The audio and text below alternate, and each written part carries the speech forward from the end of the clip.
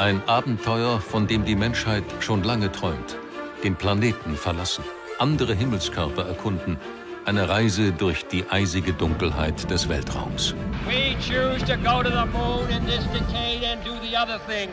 Not because they are easy, but because they are hard. Einige Leute haben mal gesagt, die Amerikaner oder die NASA hat die Zukunft in die 60er Jahre hineingebombt. Genauso war es.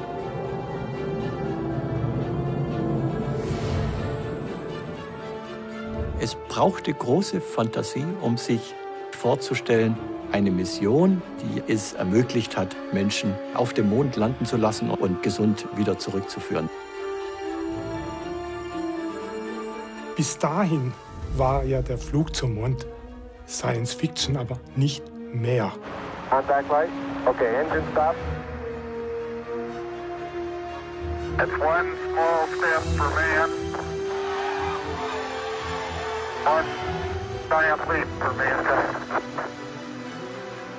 Hier setzten Menschen vom Planeten Erde im Juli 1969 ihren Fuß auf den Mond. So steht es bis heute auf der Plakette, die damals hinterlassen wurde. Wir kamen in Frieden für die Menschheit.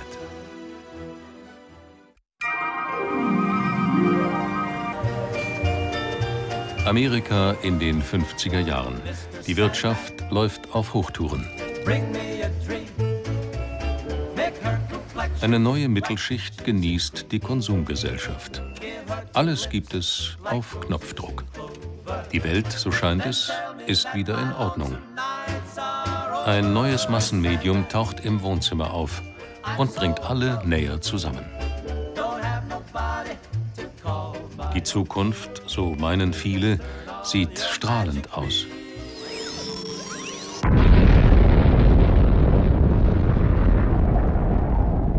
Die atomare Bedrohung war ein wichtiges Thema der 50er Jahre, insofern als äh, ja das eigene, der eigene Anspruch, die internationale Führungsmacht äh, zu werden und zu sein, gefährdet war dadurch, dass auch die Sowjetunion atomare Raketen entwickelte.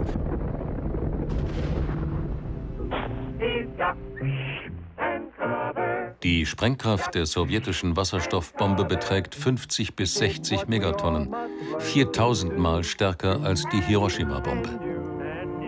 Der beste Weg, den Tod zum Feind zu tragen, kommt aus Deutschland.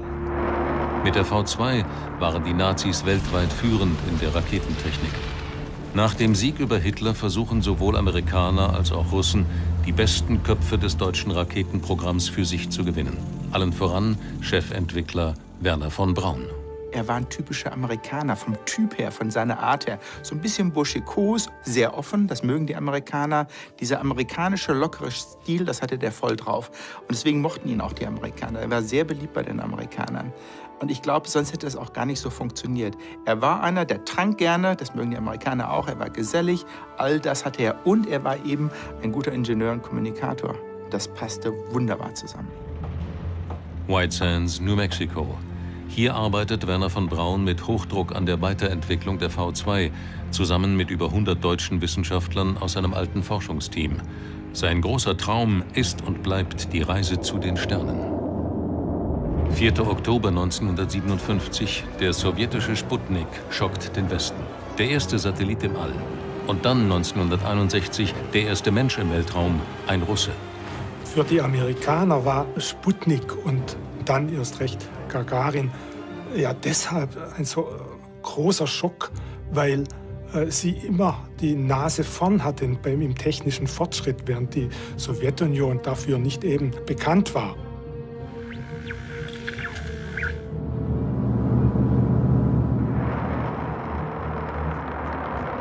Die amerikanische Raumfahrt steckt in einer Krise. Das spielte sich nun vor aller Augen ab, wie deren Raketen explodierten auf der Stadtrampe, in, äh, in einer Feuerwolke äh, auf, aufgingen.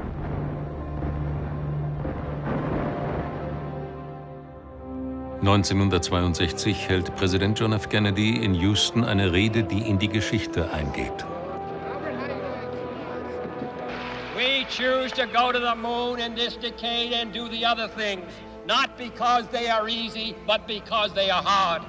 Die Amerikaner waren sich selber überhaupt nicht im Klaren, wie sie zu, zum Mond kommen sollen. Da sagte dann Kennedy, wir fliegen zum Mond. Und die NASA sagte, wir haben keine Idee, wie wir da hinkommen. Die Raumfahrt wird Chefsache. Der Wettlauf beginnt. Ein Wettlauf gegen die Zeit, gegen die Sowjetunion. Und dieses Mal wollen die Amerikaner gewinnen. Sie haben etwas getan, was eigentlich unmöglich war. Es war nur denkbar, aber eigentlich technisch nicht möglich. Und sie haben es trotzdem geschafft, weil sie Folgendes gemacht haben. Sie haben eine technische Entwicklung, die sie sonst nicht hatten, auf drei Parallel- oder vier Parallelwegen entwickelt. Und eins hat es schon zum Ziel geführt und die haben sie dann genommen. Es bedurfte einer Mobilisierung der gesamten Nation, der industriellen, der technologischen, der wissenschaftlichen Ressourcen, um dieses Programm zu realisieren. Und die NASA wusste, dass sie das alleine nicht machen kann, sondern dass sie dies, das gesamte industrielle Potenzial der USA hier einbauen musste. Die Luftfahrtfirmen, die Rüstungsfirmen generell, um am Ende technologisch erfolgreich zu sein. Das Projekt kostete nicht nur Milliarden von Dollars, sondern es war ein Projekt, das am Ende etwa 400.000 Personen involvierte. Man muss sich das vorstellen. Ein riesiges technologisches Projekt, enorm schwierig und komplex zu managen. Es ist ein Traum, eine Vision in einer Zeit, die dringend nach Visionen verlangt.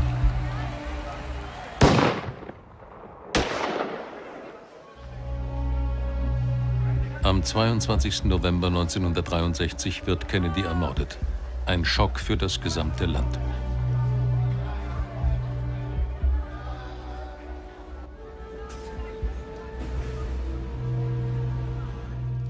Ein Riss geht durch die Gesellschaft, nicht nur zwischen Schwarz und Weiß.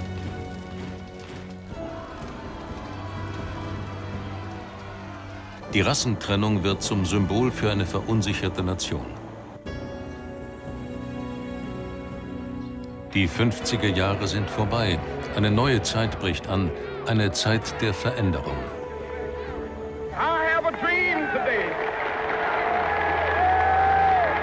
Kennedys Nachfolger im Weißen Haus, der neue Präsident Lyndon B. Johnson, setzt ein Zeichen gegen die Rassentrennung und macht sich daran, auch die Weltraumpläne seines Vorgängers umzusetzen.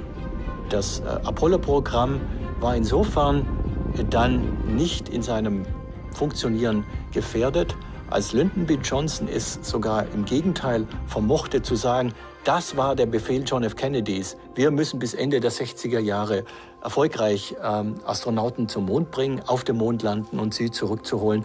Und dieses Vermächtnis John F. Kennedys, das wollen wir bewahren, das, an das wollen wir uns halten und wir wollen es äh, umsetzen. Der Flug der ersten Apollo-Kapsel steht bevor. Die Astronauten sind Edward White, Gus Grissom und Roger Chaffee. Apollo 1 soll dem Raumfahrtprogramm endlich neuen Schwung geben. In der Versicherungsbranche gilt Raumfahrt als Ultra Hazardous Adventure. Das ist die höchste Kategorie, die es überhaupt gibt. Mit anderen Worten, es gibt nichts Schlimmeres. Das weiß jeder Astronaut und damit lebt jeder Astronaut. Damit muss man in der Raumfahrt leben, weil wir an die Grenzen des Machbaren gehen, sowohl vom Material als auch von der Prozedur. Ziel der Mission ist es, Astronauten in eine Umlaufbahn um die Erde zu bringen.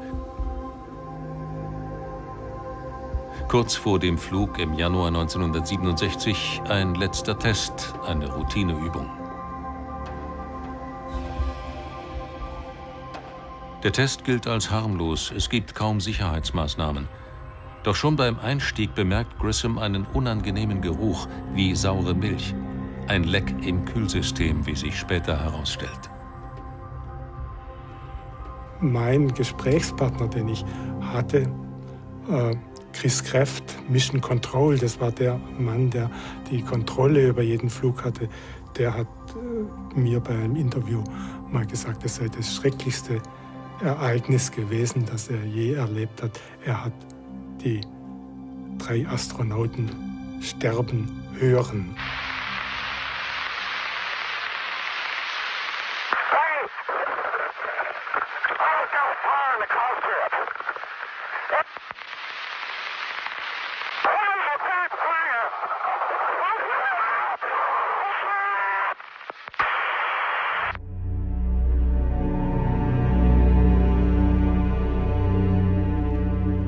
Es gibt gefährliche Mängel im elektrischen System. Ein Funke genügt, um ein Feuer zu entfachen. Der reine Sauerstoff, mit dem die Kapsel gefüllt ist, führt zum Inferno. Was ist damals verbrannt? Nun der Klettverschluss. Klettverschluss ist eigentlich nicht brennbar, aber unter reinem Sauerstoff ist er brennbar. Und das hatten die Amerikaner nicht bedacht. Das Zweite war, sie hatten keine von innen öffnbare Tür eingebaut. Die hatten gesagt, warum sollen die, die Astronauten raus? Im Weltraum brauchen die sowieso nicht raus. Also brauchen wir die Tür nicht von innen öffnbar machen. Und das war ein großer Fehler. Dadurch konnten sich die Astronauten nicht befreien. Das ist bis heute so. Wenn Sie sich einen Shuttle anschauen, auch dort, selbst da, ist die Tür von innen öffnbar, obwohl sie im Weltraum gar nicht raus müssen. Also das und der Sauerstoff, das waren die zwei wichtigen Konsequenzen. Der Tod von Grissom, White und Chaffee rettet anderen vermutlich das Leben. Die erkannten Mängel werden behoben. Astronaut Grissom sagte wenige Wochen vor dem Unfall, es ist ein riskantes Geschäft und wir hoffen, wenn uns etwas passiert, wird es das Programm nicht verzögern. Es dauert fast zwei Jahre, bis wieder Astronauten in eine Apollo-Kapsel steigen. Am 11. Oktober 1968 startet eine Saturn-Rakete in die Erdumlaufbahn. Nach dem Desaster von Apollo 1 ruhen jetzt alle Hoffnungen auf der Nachfolgemission. Und sie ist ein voller Erfolg. Nur zwei Monate später, im Dezember 1968, verlässt die Crew von Apollo 8 die Umlaufbahn der Erde.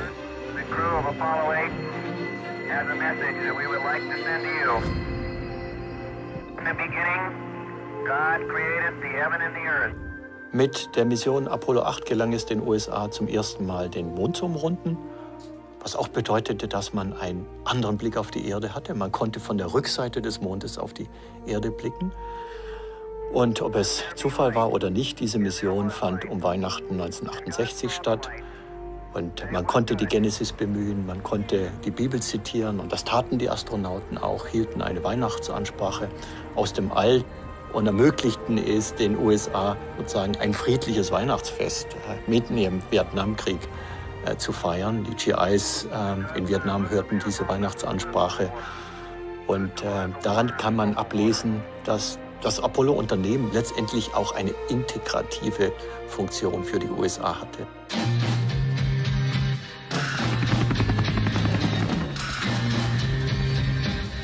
Währenddessen fallen Bomben auf Vietnam, insgesamt dreimal mehr als im Zweiten Weltkrieg. Es sterben vor allem Zivilisten, Alte, Frauen und Kinder. Ein Konflikt, der die Jugend im Westen aufwühlt. Es sind vor allem junge Menschen, die gegen den Krieg protestieren, und es sind junge Männer, die kämpfen. Das Durchschnittsalter der US-Gefallenen ist 19. Eine neue Generation macht sich daran, Amerika zu verändern, auf ihre Weise.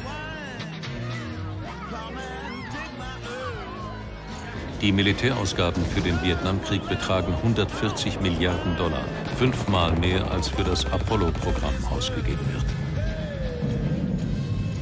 Nun, wie auf der Erde, für uns ist die Erde das, was wir sehen. Das ist psychologisch einfach so. Die nächsten 100 Meter ist meine Welt.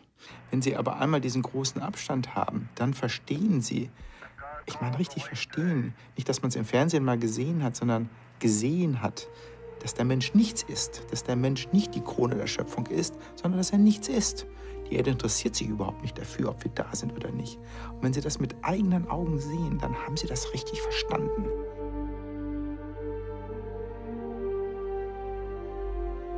Es begann eben mit diesem Bild von Apollo 8.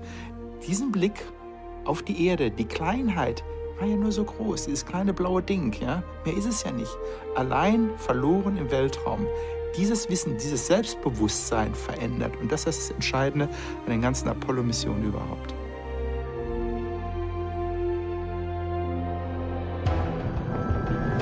März 1969. Apollo geht in die entscheidende Phase. In der Umlaufbahn der Erde wird die Landefähre getestet. Sie soll später auf dem Mond landen. Auch ein neuer Raumanzug kommt zum Einsatz.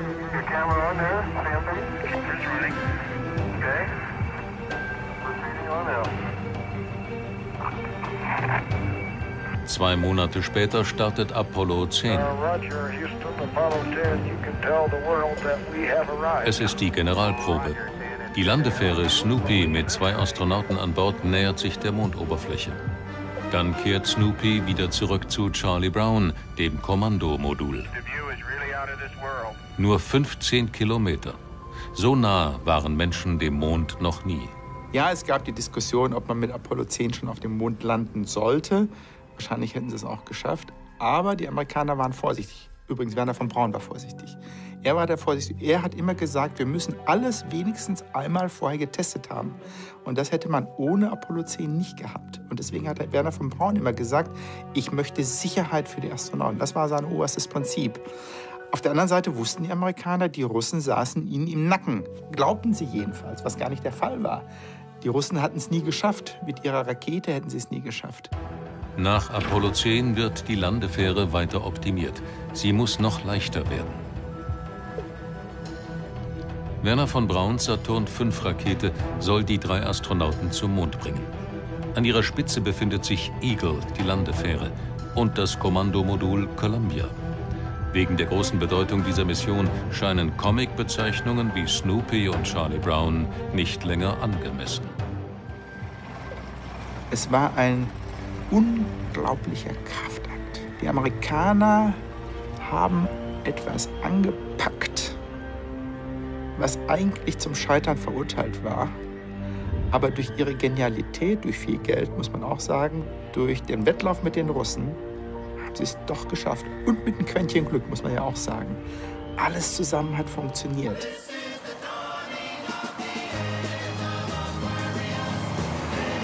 In den USA war es natürlich ein riesiger Hype. Hunderttausende kampierten äh, vor Cape Canaveral äh, um den Start der Saturn V-Rakete, der Apollo-Rakete, live mitzubekommen. Viele andere feierten Partys, was wir heute als Public Viewing bezeichnen, fand statt. Es war dieses Medienereignis des 20. Jahrhunderts, das äh, uns im Gedächtnis geblieben ist. Zur selben Zeit stellen sich die Astronauten darauf ein, vielleicht nie wieder zur Erde zurückzukehren. Es gibt Leute, die sagen, die Chance war noch nicht mal 1 zu 100. Und andere sagen, und die Amerikaner haben gesagt, wir fliegen nur dahin, wenn sie 9 in 10 sind, also 90 Prozent. Neil Armstrong kommandiert die Mission. Seine Co-Piloten sind Buzz Aldrin und Michael Collins. Schon jetzt ist festgelegt, dass Neil Armstrong als erster Mensch den Mond betreten darf, wenn alles gut geht. Die Astronauten selbst schätzten ihre Chance, lebend zur Erde zurückzukommen, gerade mal auf 60 Prozent ein, also etwas über die Hälfte. Sie wussten darum, dass sie ein hohes Risiko eingehen.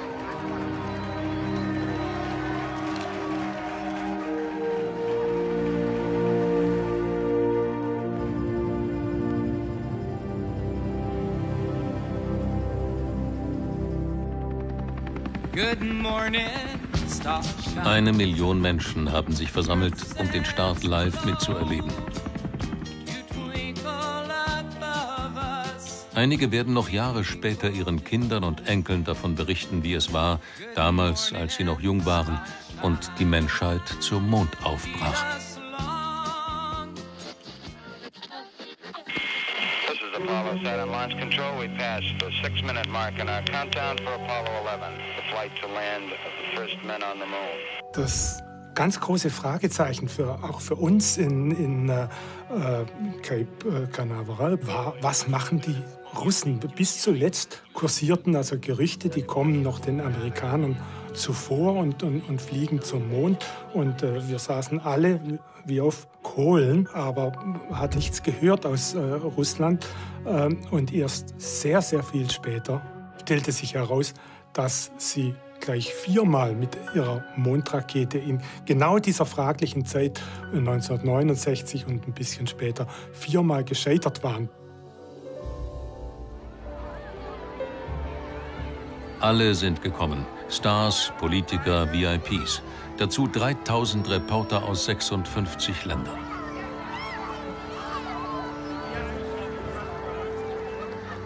Astronauts report it feels good. T-minus 25 seconds. Werner von Braun. Es ist seine große Stunde. T-minus 15 seconds. Guidance is internal. 12, 11, 10, 9. Ignition sequence starts. 6, 5, 4, 3, 2, 1, 0. All engine running. Liftoff. We have a liftoff. 32 minutes past the hour. Liftoff on Apollo 11. Wer es nicht selbst gesehen hat, wie wir das Glück hatten als Journalisten, der kann sich ja gar nicht vorstellen, wie sich so ein Raketenstab abspielt. Es ist, ist ja nicht so, dass das mit einem riesen Donnergetöse losgeht, sondern die Rakete hebt ab in absoluter Totenstille und dann nach fünf Sekunden, da erreicht der Donner die Pressetribüne und auch die überhaupt alle Augenzeugen. Und dann sieht man immer hoffend, es passiert nichts, es passiert nichts und äh, die, die äh, Rakete wird immer kleiner. Der Start der Saturn V ist nach der Atombombe das lauteste je von Menschen erzeugte Geräusch.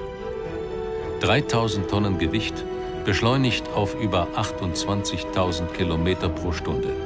Schneller als eine Gewehrkugel.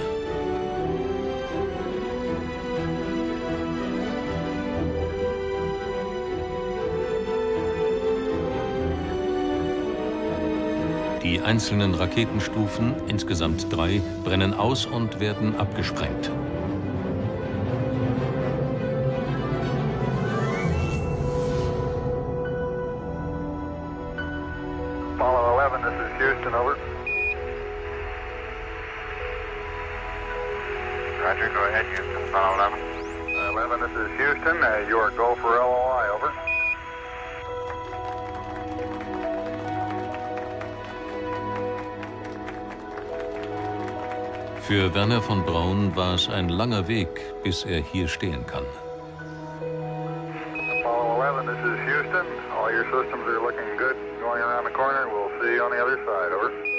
Die Reise zum Mond dauert drei Tage. Doch draußen gibt es eine Gefahr, von der die Astronauten nichts ahnen. Ich meine, was wäre gewesen, wenn in der Zeit viele Sonnenstrahlung, es gibt ja diese ähm, Sonnenzyklen, das heißt, wenn ein Sonnenwind den Amerikanern zu schaffen gemacht hätte, hätten die Astronauten keine Überlebenschancen gehabt. Es gab zum Glück keine Sonneneruption. Da hatten sie verdammt Glück. Die Sonnenaktivität war in diesem Zeitraum extrem gering. 380.000 Kilometer von unserem Planeten entfernt nähert sich die Columbia dem Mond. Neil Armstrong und Buzz Aldrin steigen um von der Columbia in die Mondlandefähre Eagle.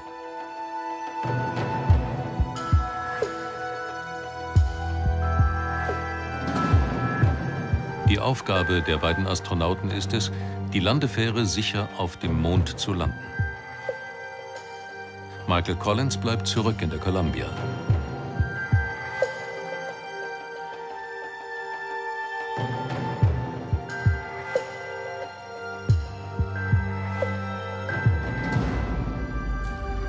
Noch zwölf Kilometer bis zur Landung. In der Landefähre meldet der Computer eine Fehlfunktion. Falscher Alarm, wie sich herausstellt.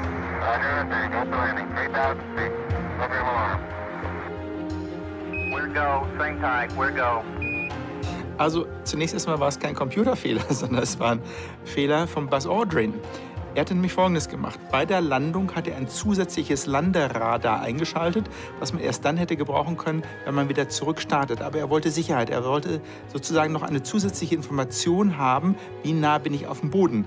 Damit hatte die NASA allerdings nicht gerechnet und vor allen Dingen der Rechner war nicht dafür ausgelegt. Also Neil Armstrong will landen, auf einmal, oh, wow, Error, und er sieht nichts mehr auf seinem Bildschirm. Und dann hat er eben selber den Stick übernommen und dann kam noch eine Warnung, kein Treibstoff mehr. Er wusste, er hatte noch für wenige Sekunden Treibstoff. Sonst wäre er wie so ein Apfel runtergefallen auf den Mond. Und sozusagen mit Gefühl. Ich habe noch, ich glaube, 25 Sekunden Treibstoff hat er gehabt. Und dann hat er so einfach nach Gefühl hat er gesagt, so viel habe ich noch. Und über den Huckel muss ich auch noch drüber weg, weil da kann ich nicht landen. Und dann hat er wirklich ganz cool das Ding, das Landegerät auf den Mond runtergelassen.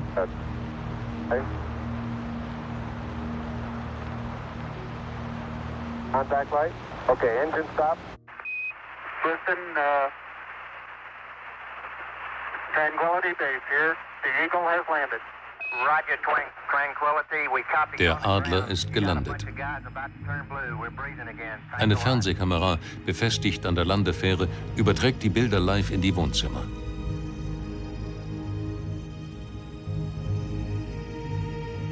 Sechshundert Millionen Menschen schauen gebannt zu, wie der erste Mensch im Begriff ist, den Mond zu betreten.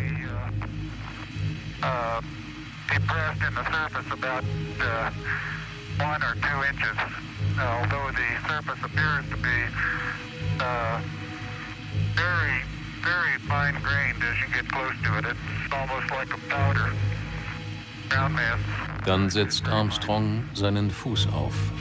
I'm gonna step off the limb. That's one small step for man, one giant leap for mankind.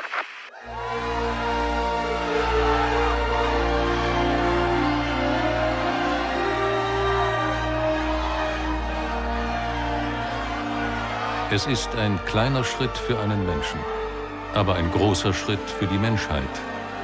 Worte, die in die Geschichte eingehen.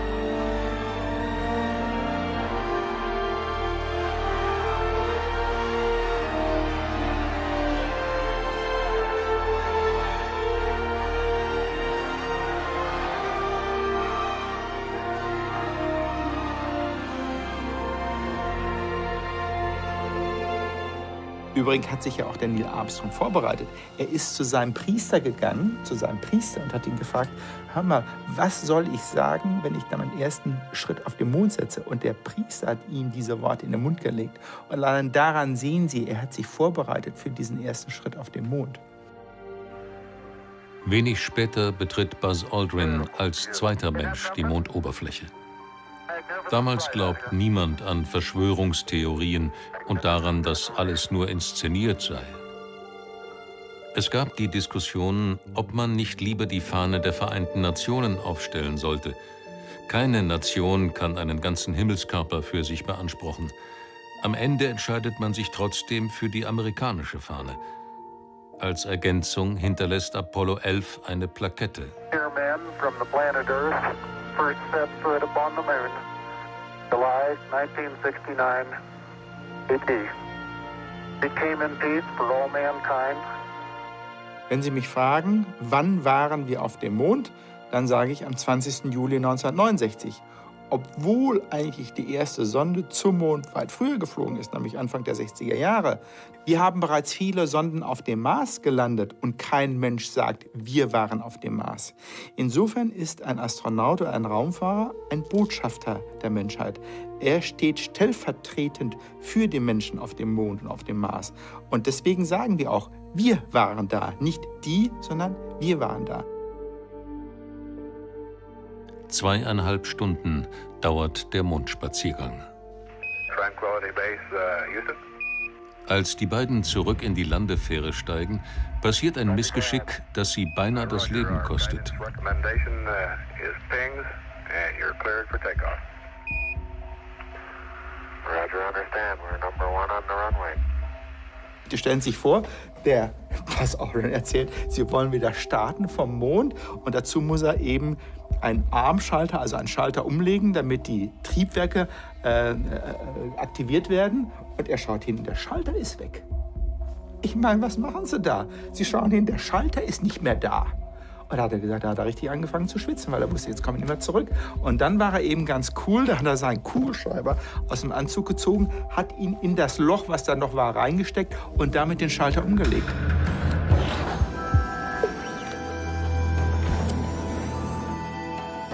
In der Umlaufbahn des Mondes wartet die Columbia. Die Landefähre dockt an. Es geht nach Hause. Aber noch ist es nicht überstanden. Der Eintritt in die Erdatmosphäre gilt als besonders kritisch.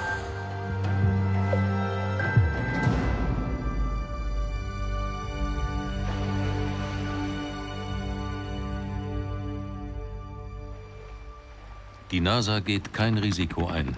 Die Astronauten waren auf einer fremden Welt. Sie bekommen Gasmasken, Schutzanzüge und werden in Quarantäne gebracht.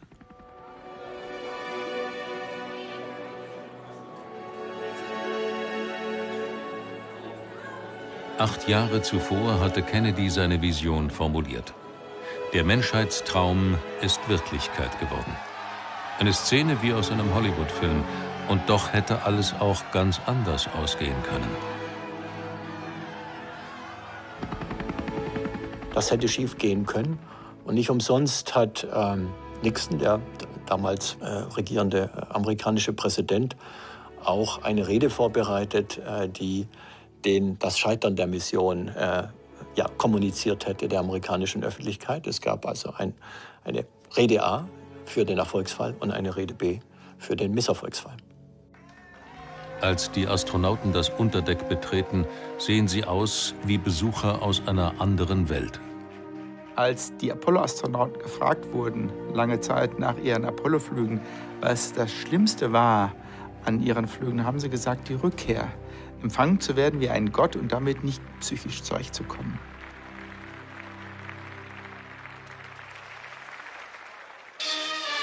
Es ist lange her, dass Amerika so feiern konnte. Das ganze Land ist euphorisch. Für einen kurzen Moment, so scheint es, ist alles möglich. Was sie wirklich verändert hat, das hat der äh, Buzz Aldrin später mal erzählt. Er hat gesagt, bis dahin waren wir noch normale Menschen. Als wir dann allerdings durch die Straßen von New York gefahren wurden und alle uns wie ein Gott bejubelt haben, das hat uns zu schaffen gemacht. Er wurde Alkoholiker dadurch und er hat sich später nur wieder gefangen. Und das war das Problem aller Astronauten. Nicht mehr ein normaler Mensch sein zu können. Aber nicht, weil sie auf dem Mond waren, sondern weil sie Menschen glaubten, sie seien Götter. Das ist was sehr Unterschiedliches.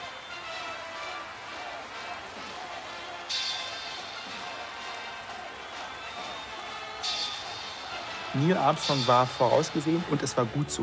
Denn er war die Person, die mehr zurückhaltend war, die cool war. Er redete nicht viel.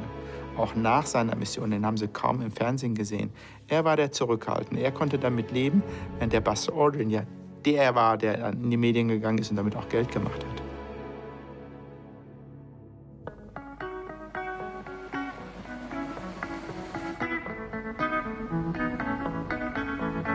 Ein neues Jahrzehnt bricht an. Der Vietnamkrieg geht weiter. Die Mondlandung, die noch vor einem Jahr wie ein Wunder schien, interessiert jetzt kaum noch. Das Land hat andere Probleme als die Raumfahrt.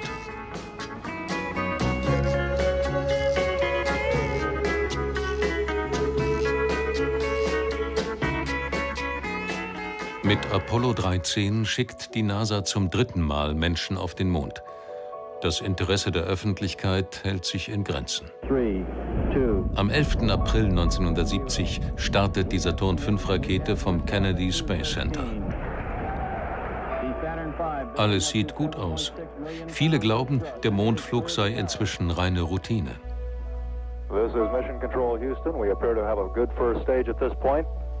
Sie müssen sich in die Zeit reinversetzen. Das war der dritte Flug zum Mond. Der erste war grandios, Apollo 11. Millionen von Menschen haben zugeschaut. Der zweite Flug war auch noch gut, war in Ordnung. Aber den dritten, da haben die Leute doch lieber Football geguckt, ja, und Hockey und sowas, weil das war unterhaltsam. Ich meine, das dritte Mal ist ja schon, ist wie immer im Leben. Das erste Mal heiraten ist okay, aber das zweite und dritte Mal ist schon uninteressant.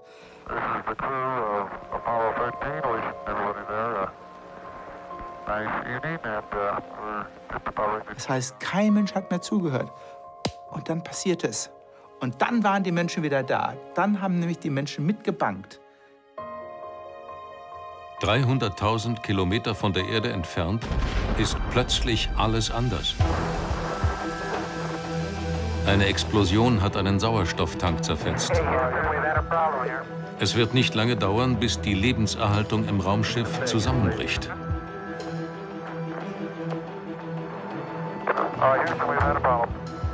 Astronauten hatten keine, keinen Sauerstoff mehr.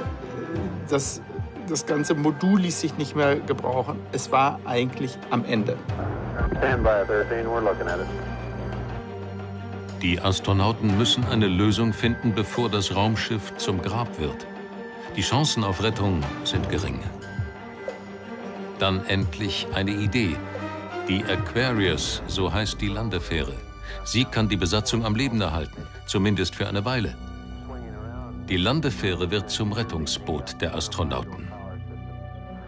because of the situation that has developed here this evening. Okay, as we have an apparent serious oxygen leak in the cryogenic oxygen in the service module. The lunar module would serve as a sort of lifeboat for the crew of Apollo 13. Eine direkte Umkehr zur Erde ist nicht möglich. Die Haupttriebwerke sind ausgefallen. Aber es gibt eine andere Möglichkeit, den Mond. Der Plan ist, seine Gravitation zu nutzen, um so das Raumschiff wieder zurückzuschicken. Dazu müssen sie auf die dunkle Seite des Mondes. Hier gibt es keine Funkverbindung mehr.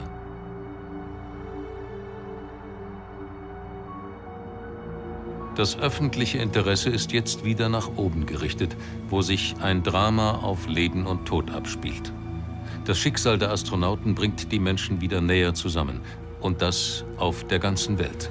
Die USA waren in einer in dem Fall ganz konkreten Krise. Diese Krise äh, drohte Menschenleben zu kosten und das hat für eine internationale Sympathie äh, sondergleichen gesorgt. Die äh, weltweite Öffentlichkeit nahm teil am ja, Schicksal der amerikanischen Astronauten, am Schicksal der USA. Als solches wurde es gesehen. Und auch das hat dazu beigetragen, dass die USA positiv gesehen wurden in der internationalen Öffentlichkeit.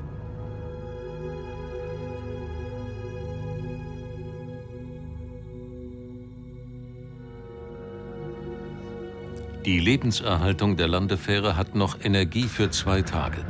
Die Rückreise wird vier dauern. Mit den Düsen der Landefähre gelingt es, den Flug auf zweieinhalb Tage zu verkürzen. Aber auch das ist noch zu lang. Alle Systeme, die nicht unbedingt gebraucht werden, werden abgeschaltet. Die Temperatur in der Landefähre sinkt auf den Gefrierpunkt. Es ist kalt, dunkel und feucht. Die Astronauten vermeiden jede Bewegung. In der Schwerelosigkeit werden sie so von ihrer eigenen Körperwärme umhüllt. Die Gefahr ist schleichend. Der CO2-Filter versagt. In der Kapsel droht der Tod durch Ersticken. Die Männer am Boden suchen nach einer Lösung. Und dann kommt eben dieses menschliche Genie, zu sagen, so, das darf nicht passieren. Failure is not an option, hieß es.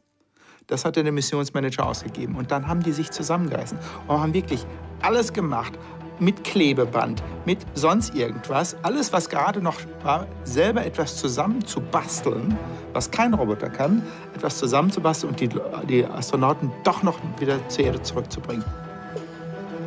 Ein Adapter wird improvisiert aus Tüten, Klebeband und einer Socke mit Dingen, die auch die Astronauten in ihrer Kapsel haben. Das Zentrum in Houston funkt den Bauplan durch. Die Astronauten bauen das Gerät nach. Mit Erfolg.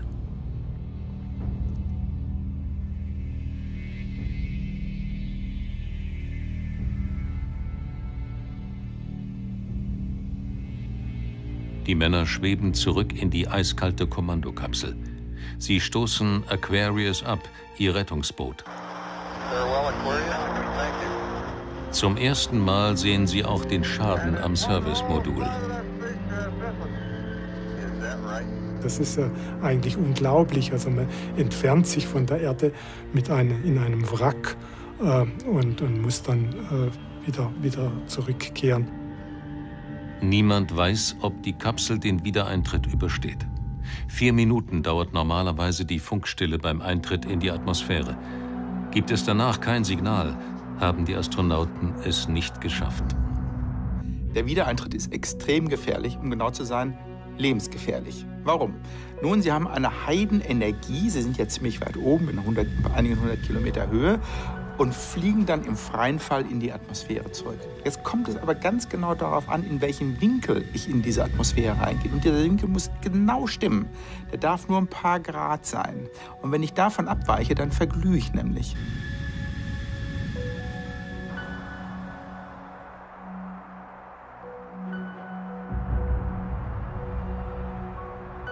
Vier Minuten sind vorbei. Immer noch kein Kontakt.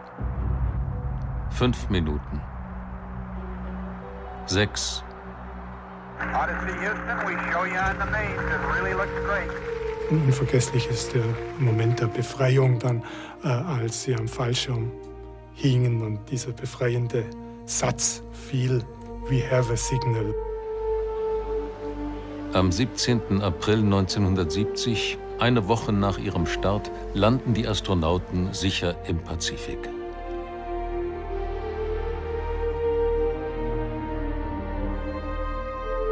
Another chair in the control room as we head splashdown.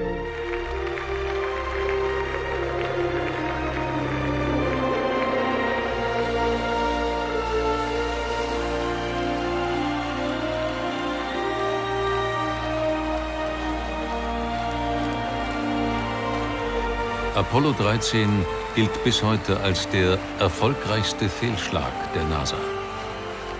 Und wieder sind es Szenen wie aus einem Hollywood-Film. Die Leistung der Astronauten und der Männer am Boden gehört zu den größten Momenten der Raumfahrtgeschichte. Jim Lovells Traum, einmal den Mond zu betreten, hat sich nie erfüllt. Heute ist er stolz auf seinen berühmten Satz: Houston, we've had a problem. Nach Apollo 13 folgen noch vier weitere Missionen, bis es irgendwann das letzte Mal ist, dass Menschen auf dem Mond landen. Zumindest vorläufig. Als John F. Kennedy 1962 seine berühmte Rede hält, ahnt er nicht, wie sehr sich die Welt in nur zehn Jahren verändert würde. Im Rückblick scheint es kaum zu glauben, was Ingenieure und Astronauten damals geschafft haben. Warum waren wir da? Warum haben Menschen diesen Aufwand auf sich genommen?